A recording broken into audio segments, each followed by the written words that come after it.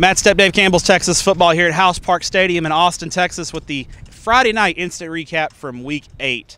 Uh, we'll start with my game here, here tonight at House Park. Uh, Lake Travis pulls away in the second half for a 45-21 win over Austin Anderson. Uh, the Cavaliers in the second half played like the team we thought they would, uh, outscoring Anderson 24 to nothing in the second half. But give credit to Donnelly Hatch- Hatcher's ball club. Uh, the Anderson Trojans are, are, are, much improved. They hung around. This was 21-21 ball game at halftime.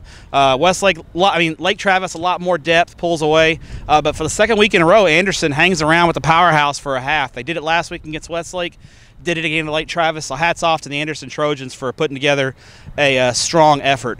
Uh, staying in District 26 6A, we'll go down the road to Dripping Springs where the Westlake Chaparrals and the unbeaten showdown keep their winning streak alive with a 29 to 29 to 10 win over Dripping Springs. Uh, the biggest thing in this game for me that I noticed was the Westlake defense. Uh, you know, Tony Salazar is not the defensive coordinator anymore; he's the head coach, but they're still playing that great defense there uh, for the Chaparrals. They they they hold down an explosive drip offense led by Austin Novosad uh, to just 10 points. So credit to Austin Westlake, congratulations, and also for Dripping Springs. I think uh, this game proves that they can play and compete at the Class 6A level. Um, in Class 5A, the big showdown in Burleson uh, kind of turned out to be a dub. The Aledo Bearcats uh, extend their district winning streak, if memory serves, to 107 games as they beat Burleson Centennial 64 to 21. Uh, this was a 21-21 game in the second quarter. Aledo scores the last 43 points of the game uh, to blow away Centennial and really make a statement that you know if right now Aledo is the team to beat in Region One in Class 5A Division One with the dominant win. Uh, Centennial, fresh off their upset win over Denton Ryan last week, just didn't have enough juice in the tank. Aledo uh, proving that they are an elite team and right now the team to beat in 5A Division One. Uh, down in the Coastal Bend in Class 4A, the big showdown in Corpus Christi area, Calallen and Alice uh, comes down to the wire. Calallen hangs on for a 37 to 30 win over the Coyotes. Uh, Calallen scores with less than two minutes left, and then uh, Alice drives down to the 30 yard line at the end of the game.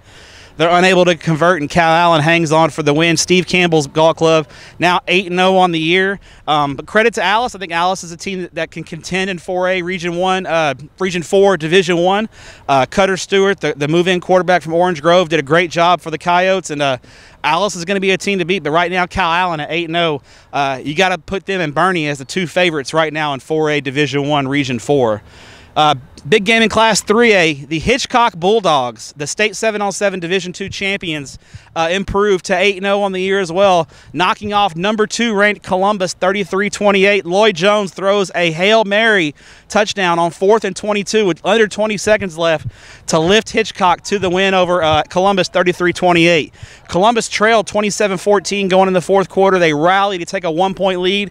And then Hitchcock breaks their heart with a Hail Mary pass on fourth and 22 to win the game. The Hitchcock Bulldogs make a statement. They are here to stay in Class 3A Division 1 Region 3. Huge win for Hitchcock down there in Galveston County. And finally, in the Big Country Class 2A, uh, the Cisco Lobos 47-14 over Stamford in their in their showdown in the Big Country. Uh, Cisco, a senior laden ball club. Stamford undefeated going in.